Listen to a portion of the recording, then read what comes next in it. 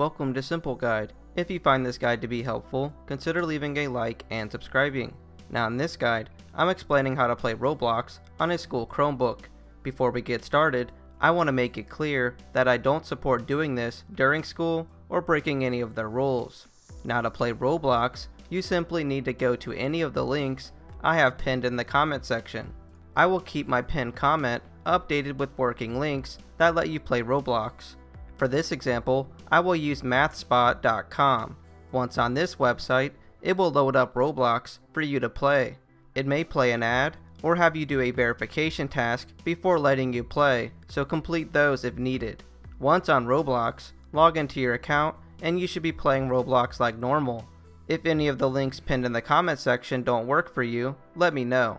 And that'll do it for this guide. Comment below if you have any questions, and I will try to help.